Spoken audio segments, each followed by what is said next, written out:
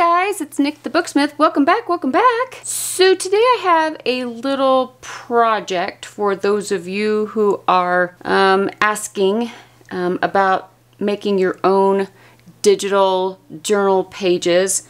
Those of you who are up to the task. um, so I get this question a lot. How do I make my own digital journal pages? And without, you know, starting an, a class on Photoshop yet, it, it's on the list, but this is something in lieu of uh, just for the time being. And this is something that I think anybody can do. You don't have to have Photoshop. You have to have a computer. so as long as you have a computer, well, and a printer, you should be able to do this. So the only software you need is uh, if you have a Windows computer will be Paint 3D and that is a free program that comes um, on any Windows based computer. So if you have Windows 10 but it is free at Microsoft. And as long as you have upgraded to Windows 10 though I can guarantee it's probably already on your computer but if not you can very easily get to it. Um, if you are on a Mac, then you guys have your own paint programs. I think it's Paint 2 or Paint S, some, something like that, where you can kind of edit a little bit and use images. Another thing that anybody can use is GIMP.com, and that is an online based freeware and um, I used to use GIMP a long time ago. It's been around for ages. And it is freeware for anybody to use. Um, you can donate to to them if you want to, but that is not a prerequisite. Anybody can download um, and use GIMP. I will leave a link in the description. Um, GIMP, it, it's a little bit of a learning curve. Paint 3D is going to be super easy. Um, GIMP is going to be a little bit of a learning curve. I'm not saying you can't do it, but if you don't know how to use any graphic software, you might have to look up some YouTube videos to get you started. And there's also tutorials on GIMP as well. Um, it actually has a lot of things. It's it's got a lot of things you can do on GIMP. You guys might might end up even just loving that.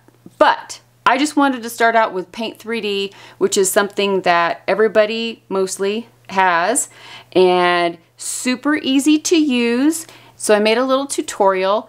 I used my computer and I recorded the screen so that you could see in real time how to use um, images in, in Paint 3D.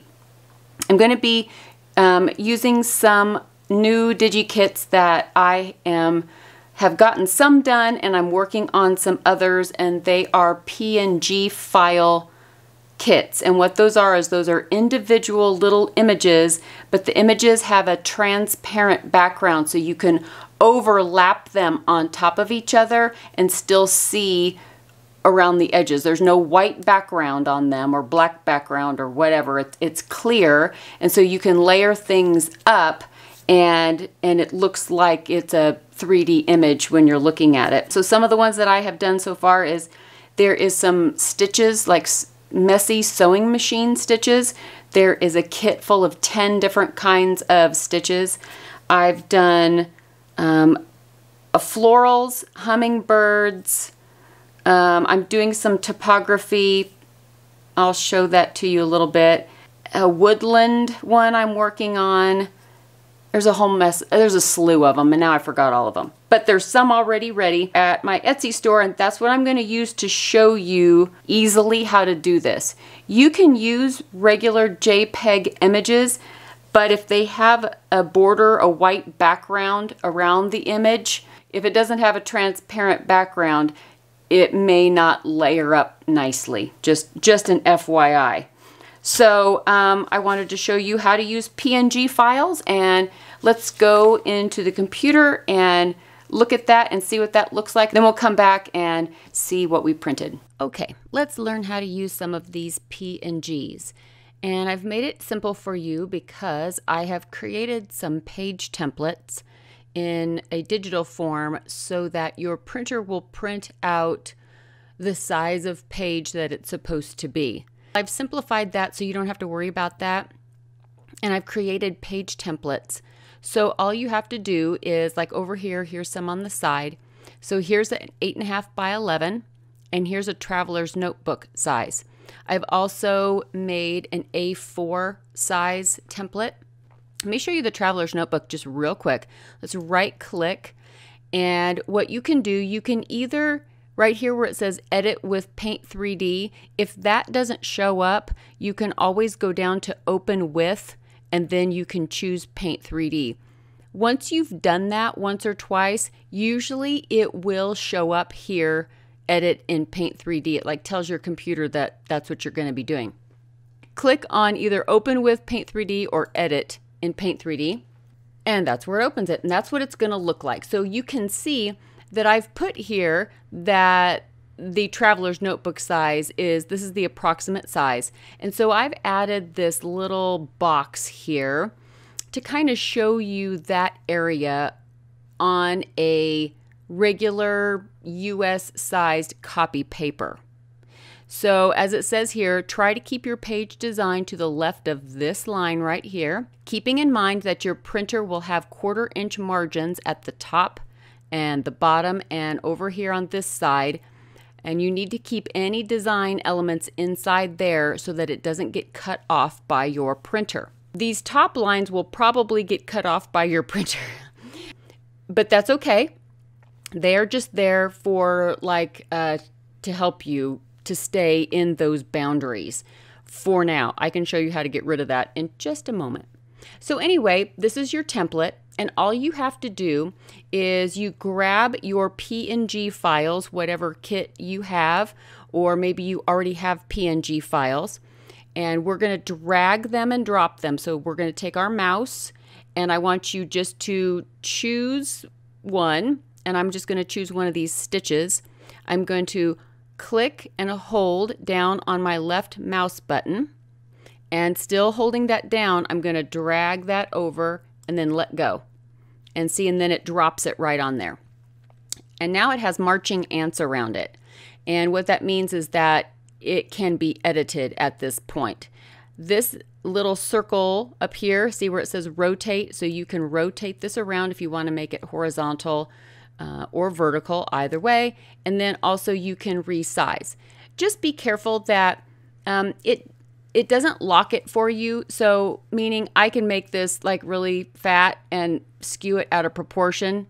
So uh, just try to keep it kind of, you know, however you think it looks right. Does that make sense? But you can mess around with it. So I'm just going to put these stitches over here on this side. And then when I'm done messing around with this, I'm going to put my cursor over here in this gray area and click. And then that locks that in. We can reselect this if we want to, because right now you can't do anything with it. It is locked down. The way to be able to mess with this again, let's say you just clicked off of it.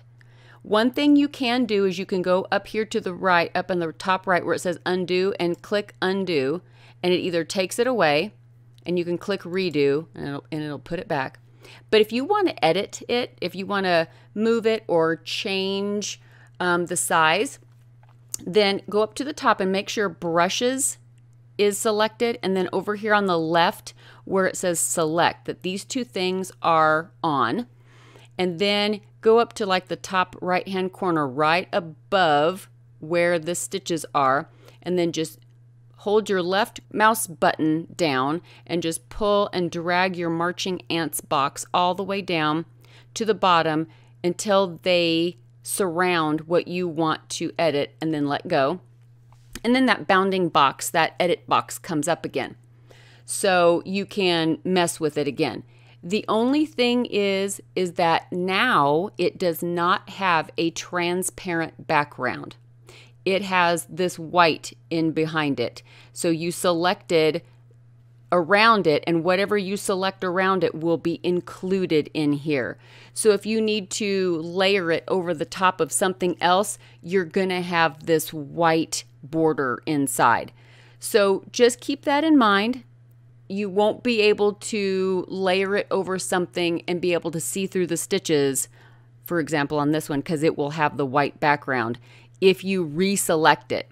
Now, when you first drag it and drop it, you you'll be able to see through it because it has a it has a transparent background. So let me show you that. So let's just say we're going to put some stitches along the side of that that page and I'm going to grab some I think I'm going to get one of these images over here on the side. So let's get a mushroom and pull that over and see it's really big. And I made these nice and big so that um, you could leave it that big if you wanted to, or you could shrink it down a little bit because you don't you don't need it that big.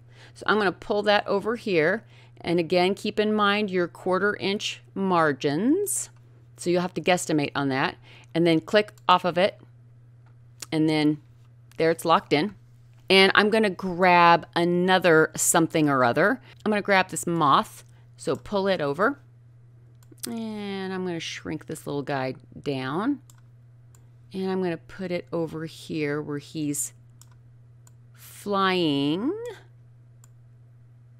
like over the the mushroom and then click off. And you see how how it's transparent so it layers it over the top. So you can even drag another moth. Of course this kit has I think there's 10 I think there's 10 moths in, in the moth kit. So you'll be able to uh, choose all kinds of moths. So let me make him a little smaller. And so these guys are just flying around over here.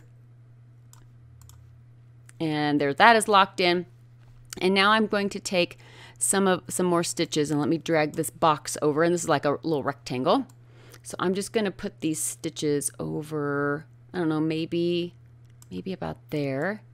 And I'm going to squeeze those in a bit, about right there. I like that.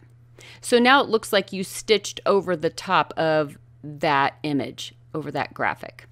So um, another thing to keep in mind is that if you're going to be uh, binding these into a book, that in the center here, there's going to be you know where you fold it and it'll this will be one side of the page and this will be one side of the page. So just keep that in mind. If you want something in the fold that's fine but just i wanted to let you know just in case you you know so you had that in your in your head while you're while you're um, making your pages. So now let's say i want a little quote in here. So just go up to the top see where it says text. You click on text and if the uh, this first T is not selected, select it and and because that is your 2D text and that's what you want. And now you can choose a font and there should be quite a few fonts in your uh, font box here. There should be quite a few to choose from. You can always buy fonts off of Etsy too. There's all kinds of places you can buy fonts. So as soon as I chose one, then you can you can uh, choose a size. I'm just going to leave it on 48. And if you look at my cursor here in the middle, you'll see where there's like a text cursor. Uh, so I'm going to drag that down here and I'm just going to click inside where I want it. And before I start typing, I'm going to move my little marching ants box inside where I want it to be. And now I can start typing without clicking on anything else can just move that around, but don't click on anything or you'll unselect it. So now you can start you can start typing.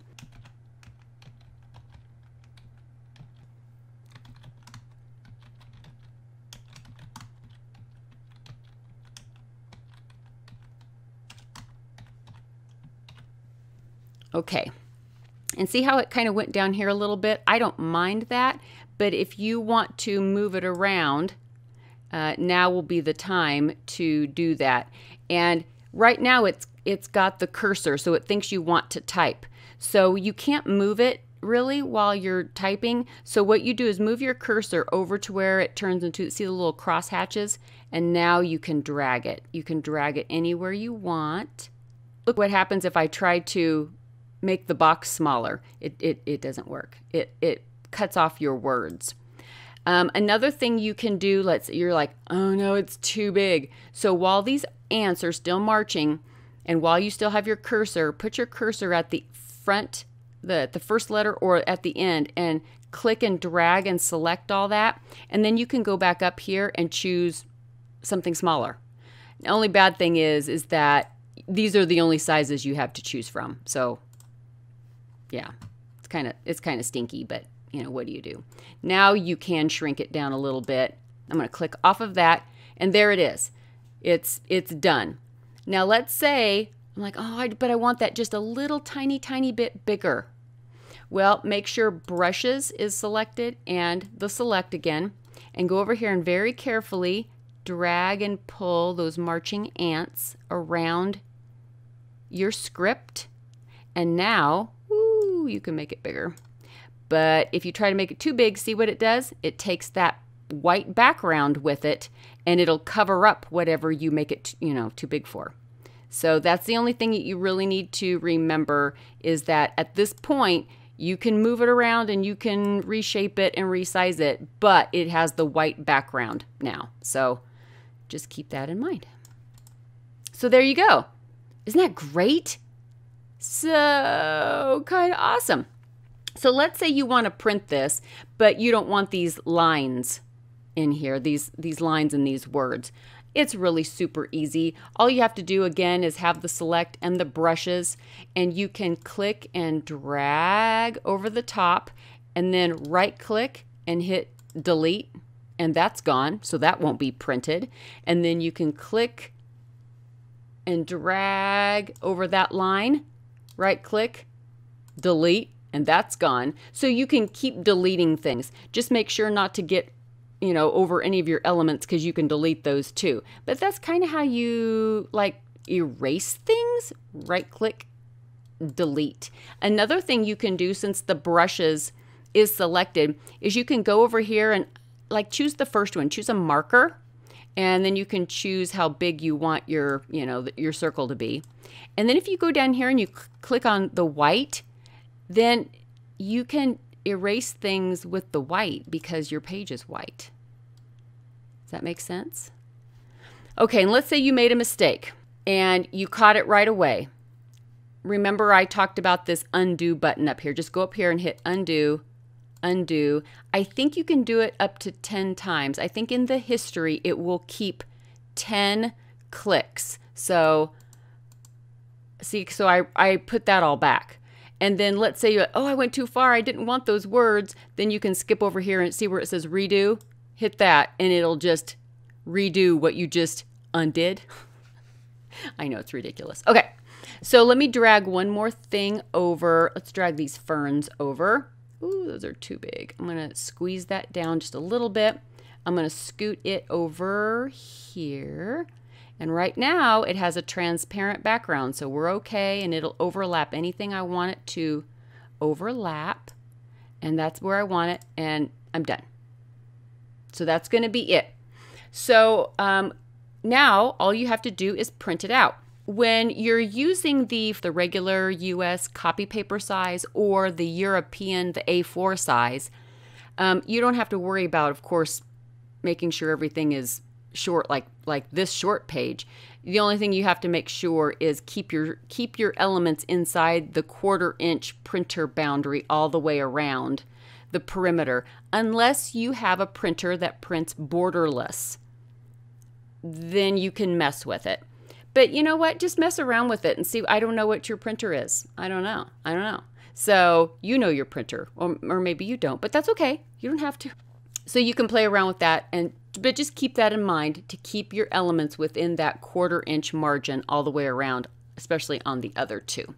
So let's print this, save it, both of those things. So we're going to go over to the top left over here, see where it says menu. I'm going to hit menu and you can save it at this point. So if you hit save as, then you're going to hit image And then it's going to bring up a box and it's going to ask you where you want to save it. So if you want to save it on your desktop, if there's a folder on your desktop that you made where you want to put it, you can name it whatever you want and then just save it right here where it says 2D JPEG. That's fine. That's what you save it as. So then you just hit save. So let's let's print it now. So if we go to menu and then you go to print and we're going to want to 2D print and so click on that. And then that's going to pull up your printing options box. Now, for the most part, I'm going to say that it's going to pull it up in the portrait orientation, which these are not in portrait. These are landscape. So change it to landscape and then you'll see that it, it looks more like what this looks like. Um, here is your paper size. So those of you in the US, if you're um, printing on paper that is regular copy size paper, but you can pull that down.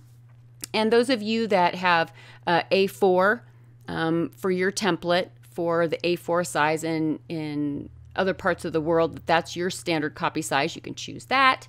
You know, there's all kinds of sizes, but I'm going to suggest that you either leave it on the, the letter or the A4 um, because that's what your printer's going to know and that's what it's going to print out. So I'm going to leave it on letter. And then for alignment, I'm going to go in here and I'm going to hit, you can hit center if you're on any of the other pages, but if you're on this traveler's notebook page, then, oops, sorry, that's the wrong one. Leave it to either top left, oops, I did again, or bottom left. Either one of those, it it's just orients it to the left side of the page if you center, you can center it, you can, but then your page will be off center in the middle and you'll have to measure out your your uh, traveler's notebook size, which I mean isn't a problem. You're going to have to trim the paper either way. Let's see, what else does it say? Oh, you can choose color. So if you just want to print in black and white or color, and then in the more settings, this will depend on your computer but you can choose the type of paper that you're going to be printing on. You can choose the tray. If your printer has more than one tray, you can choose that. And then you can choose paper quality. So again, according to your your printer, you'll be able to choose whatever quality. Um, and then see, I have borderless. So I could choose that here if I wanted to, but I'm not going to think that is it. I'll just hit OK. And then it saves all that. And then all you have to do is hit print. And then it prints out. And you can print it on tea stain paper. You can print it on parchment paper. You can print it on, I mean, anything, any kind of paper you got. Just you can print it on uh, printable vellum, all, whatever you want to print on. Um, because there is a white background, that will stay all clear and the only thing that's going to print is is the images and the stitch lines and you know just the images part. So that is that. So i know it's not photoshop but it's pretty stinking cool right? Pretty stinking cool because you know not everybody wants to go out and spend a decade learning photoshop. I don't blame you. You just have to abide by a few rules. Like I you know if you go ahead and place your object and then you reselect it it's not going to have the transparent background anymore. You could always erase it and then pull another one over you know pull the same one over again and just redo it if you mess up right? Just hit undo and erase it and you know. So that's always an option. Um, I will try and provide as many PNG file kits as I can. Um, but just start looking around. There are other there are other digital artists that sell PNG files. So look around and see what you need. See what you can you can find. With all the PNG kit, um, with all of the PNG kits, there will be the page templates in those automatically. So you don't have to pay extra for those. They're just going to be there so that you can use them. And you don't have to buy, you know, maybe one kit has it and then the next kit doesn't. Nope, they're all going to have it. It's all going to be in there. So, no worries. You can play around with Paint 3D, or if you have a Mac, you can play around with Paint S or Paint 2, whatever it is, and see if you can drag and drop and layer things over. And if you want to tackle GIMP, go for it. You can also use PNG files in like uh, like Cricut Design Space and Silhouette and Cameo. They all have um, things that you can use PNG files in. I am not familiar with those very much. I have Cricut Design Space, but that's all I've got. And I know I can use PNG files in there. So you can play around with that. And let's see. Um, if you have Photoshop elements, you can absolutely use these templates and PNG files in there. And even if you aren't sure how to use Photoshop Elements, which is the baby brother or baby sister, however you want to put it, to Photoshop. Um, very, very reasonably priced, and you can get that at Best Buy or you can download it from Adobe anytime, and it's very inexpensive. And um, you can use these templates in there as well very easily. And so, even if you are unsure how to make a journal page in in Photoshop Elements, if, let's say you just got it and you're like, I don't even know where to begin these will absolutely work. So no worries. And then you can just print them off through Photoshop. Let me show you something else that's kind cool. So I'm going to take the 8.5 by 11 page template and right click and open that with Paint 3D. And of course you can open it with Photoshop Elements if that's what you have. Or let's say I want to do like a really pale ghosted image in the back. Let me show you an example. So let me drag and drop this love letter on to the page. And I'm going to kind of squeeze it down so it, it's only going to be on half, half the page here. And I'll just kind of put it down toward this bottom right hand side. There we go. Just make sure I keep my uh, printer boundaries. And I clicked off of that.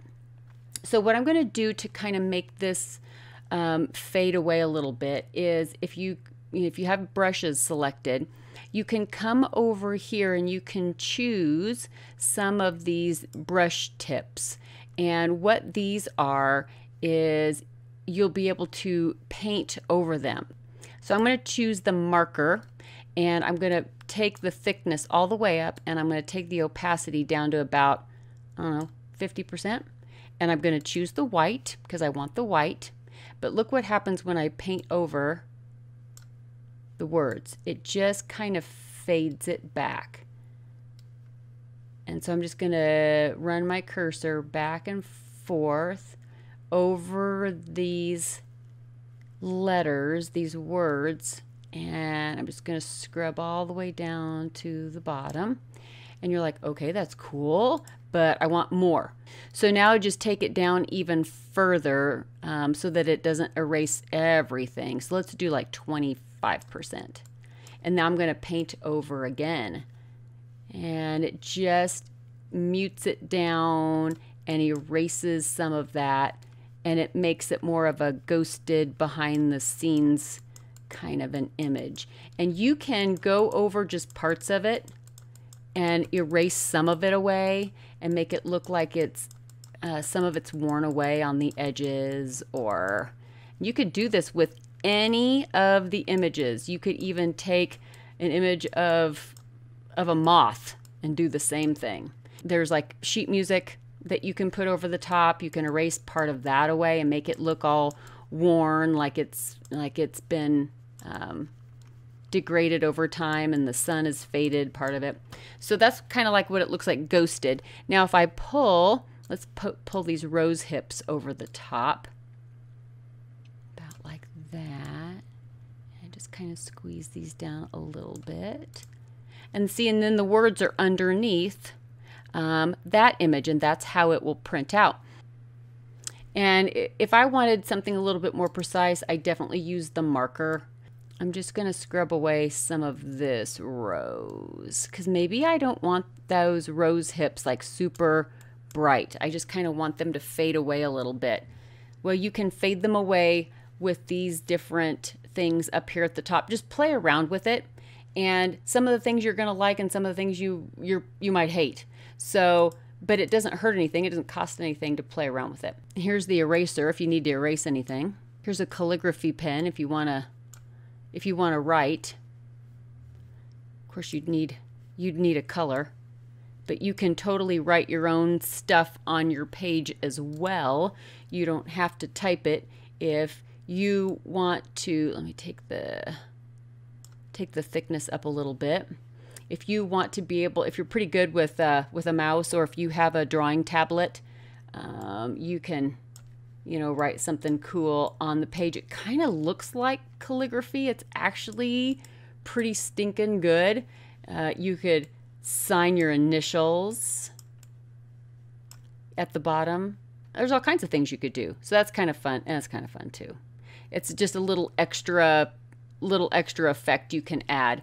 There's all kinds of different things. I suggest going to YouTube and seeing what other things in Paint 3D that you can do that maybe you might want to do. um, I don't have time to go through all of it, because I don't know, and I don't know what everybody's going to want anyway. But I just thought I would show you a few things that those of us as bookmakers, as junk journalers, the stuff that we're going to want to make our own journal pages. Okay, I hope you guys liked that. Um, this was just the little screenshot recording part, and um, I will show you what these look like when they print out. So, fairly easy, right? This is the one that we did on the Traveler's Notebook size page. And of course, I went ahead and I erased that uh, little border that I had put in there, the little cheater border, and the words, I erased all that so that it wouldn't print out on the page. And so now all I have to do is just trim this side and that'll be it. And I can fold it up and it'll be a Traveler's Notebook size. Um, this is one that I did with some stitches and this is just on a regular 8.5 by 11 copy paper but of course you could also do A4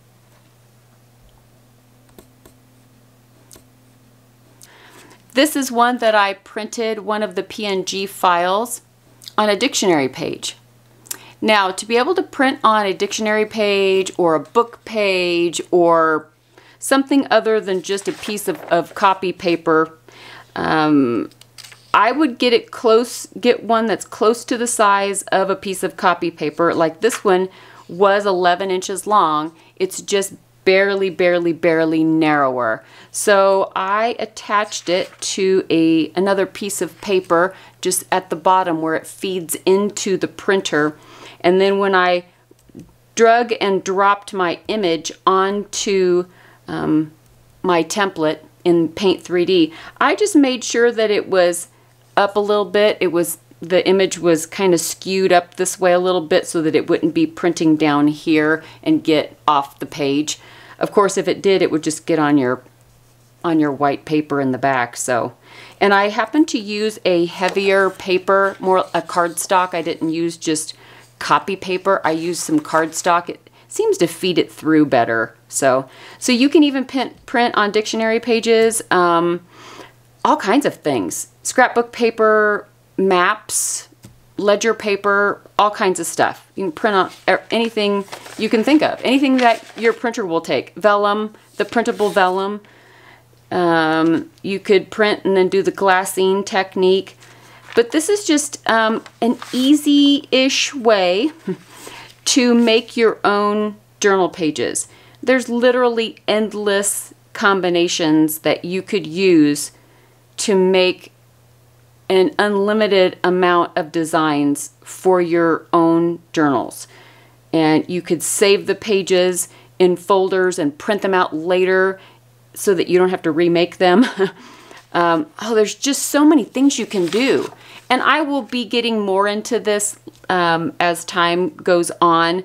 More tricks, more little things that I can think of that Paint 3D will do and GIMP will do that um, will be easy for you guys to pick up and, and utilize in your own journal making, your own book making, so that you can make your own pages and yeah, that, which is kind of fun, right? And I know a lot of you wanted to get into this. You want to get into some some baby steps into graphic art and some digital work. As I mentioned in the video, um, if you don't know if you can use a PNG file on your computer, just go to my Flickr page. The link is down below the video. Grab the pink rose it should be the last one there. Of course, unless you're watching this in a month, and it probably won't be, but there's a pink rose and it's a PNG file. So just grab that and download it. There will also be a link down below to a little section of a video where I show how to download from Flickr if you don't know how. So I will also add that just in case. Um, there's a lot of new people. Hi guys! it's good to have you here. And um, a lot of people don't know what Flickr is or they've never downloaded from Flickr. So basically all Flickr is, it's not social media, it's not, it's just a repository to dump your photos and images. Do you guys remember Photobucket? It probably is even still around. I used to use Photobucket too, you know, in days gone by. I probably still have an account over there somewhere. But Flickr's just a, you know, it's a repository for images. That's all it is. You do not have to have an account to download anything. So no worries. So I'll put that down there. You can download that, that PNG image and see what you can do. You can play around with that and see how that works on your computer um, before you attempt to buy somebody's PNG files or you know before you put any money into it. I want you to try it out if you're not sure. Okay. So one thing that's going to make this easier for you is that there are the templates that I mentioned in the video that you start with. And the templates are basically they are a page in digital form that you start with. So it's the correct dimensions, whether it's the US sized copy paper or it's A4 or it's the traveler's notebook size. That's what you open first whether it's in Paint 3D or GIMP or Photoshop Elements or whatever. You open that first, and that is your building foundation. That's what you put everything on, and then you know that everything is going to end up uh, in the right area. It's going to end up being the right dimensions when it prints out, because that's one thing that stymies a lot of people and that that you hit a wall is that you open up a program like Photoshop Elements and it's like, okay, so I know I want my paper to be eight and a half by 11, but I have no idea what this DPI means. I have no idea what, how to save it as the correct format so that it'll print out properly. Well, all that is done for you because all you have to do is open up the template and build on top of it and print it out. And you can also save it before you print it or after you print it, either way, and then you can print it out as many times as you'd like. All right, guys, thank you so much. I, I hope you enjoyed this little this little tutorial of sorts and those of you who are interested in getting into digital art, I hope this helps you to take that first step and to jump into the deep end of the pool. Those of you that have Photoshop elements, you can already use these in your Photoshop elements or Photoshop because there's the templates are already in there. You don't have to worry about sizing the page or anything. Pretty soon I will be having some more kits with some more templates that aren't included in, in these. So they're going to be different, different templates. But these are just for journal pages, but there will be other templates coming out very soon. I just got to finish the stuff that goes with them. So, and I'm editing that class. Okay, that's a lie. I've filmed it and I've collated and I've gotten everything labeled, but I haven't edited yet. Not like opened up the videos and trimmed them down and I haven't done that part yet. I'm working on it. It will most likely be the last class of the year, I'm thinking. I got a lot of company coming, so I don't know, unless some other little snippet snippet comes along that I can do quickly, but this is a big class. It's going to be teaching two different ways to make a cover. It's just, it's a lot. it's a lot. It's daunting. So all the files are in there and they just like, they're mocking me. I got to get in there and get those done. Okay, I will. I will. I promise. I promise. I promise. I will. All right, guys. Thank you so much for um, hanging out with me for a minute today. And I hope these, I hope this helps you. You might even have some files in your computer already. You could just start throwing them together in Paint 3D and see what see what happens. All right, guys. I will see you really, really soon in the next video. Bye, guys.